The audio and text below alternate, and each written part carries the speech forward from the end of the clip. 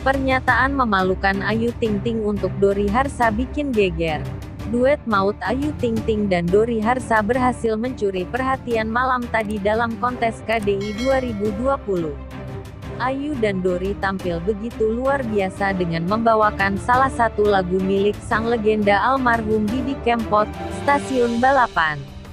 Ayu Ting Ting terlihat begitu cantik dengan mengenakan dress warna putih dengan motif garis-garis. Sedangkan Dori tampil seperti biasa mengenakan setelan jas dan kemeja warna hitam.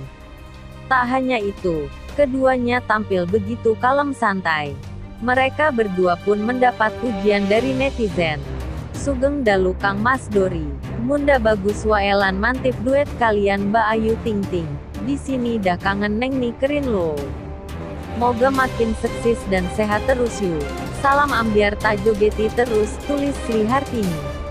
Ayu Ting Ting mengungkapkan jika itu adalah penampilan perdananya berduet dengan Dori Harsa. Namun yang cukup mengejutkan adalah ketika Nita Talia yang duduk sebagai juri mengungkapkan sebuah fakta menarik. Tadi Ayu nanya sama aku, ucap Nita Talia kepada Ruben Onsu. Namun, Ayu mencoba untuk memotongnya. Meski begitu Nita Talia meneruskan komentarnya. Teh emang ada peserta yang namanya Dori?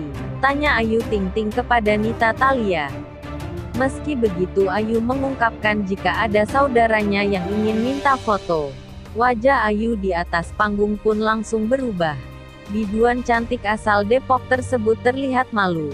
Meski begitu, Ayu pun langsung meminta maaf. Aapunten pisan. Ucap Ayu Ting Ting lewat channel YouTube KDIMNC TV. Tak lama setelah itu Ayu pun mengajak Dori mencoba joget ala Akang Gendang. Namun Dori terlihat begitu malu-malu terhadap Ayu meski mengikuti kata-kata Ayu Ting Ting.